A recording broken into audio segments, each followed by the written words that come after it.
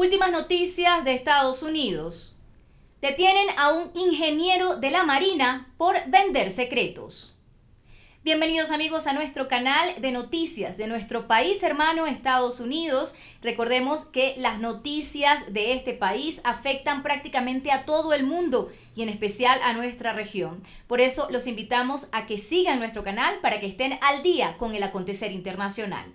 Vamos de inmediato con los detalles de esta información que llama la atención poderosamente de muchas personas, sobre todo dentro de Estados Unidos. Pues amigos, el tema de la infiltración de información de seguridad no, eh, no es nuevo, es un tema que es de vieja data en los Estados Unidos. Todos conocemos las historias durante aquel periodo con la Unión Soviética y ahora, al parecer, amigos, todo ha cambiado y se dirige ahora hacia China.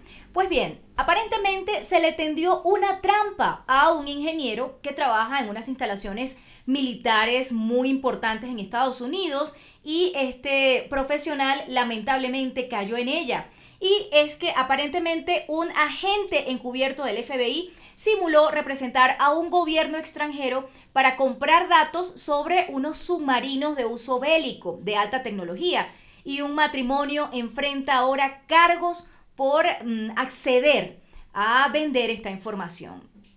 Y claro, amigos, era información restringida sobre el diseño de este tipo de submarinos por parte de Estados Unidos.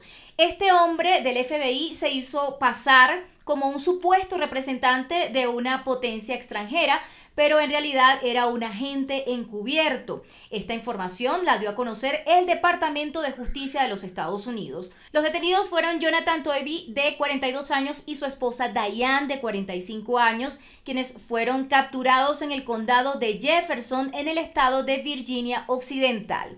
Importante señalar amigos que en esta captura no solo actuó el FBI, sino también el Servicio de Investigación Naval y además fueron acusados ambos de haber desatendido la ley de energía, de acuerdo con la información que dio a conocer el Departamento de Justicia.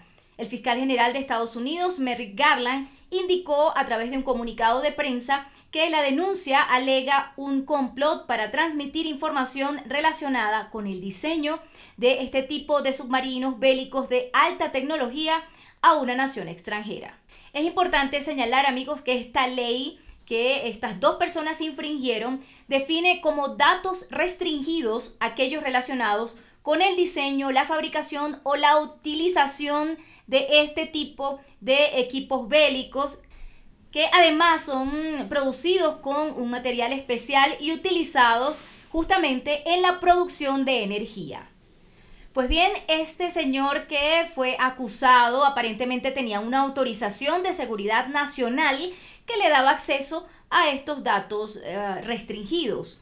En específico, trabajó y tuvo acceso a información relacionada con la propulsión naval, entre la cual destacan elementos militares de diseño sensible, parámetros operativos y características de rendimiento de estos equipos para los submarinos que se utilizan en este tipo de actividades que son muy especiales y muy delicadas de las Fuerzas Armadas de un país, por lo cual tiene que ver con la seguridad de la nación norteamericana. Como vemos amigos, este tipo de hechos de infiltración de datos sigue existiendo en los Estados Unidos y en otros países, pero principalmente en esta que es una de las mayores potencias del mundo.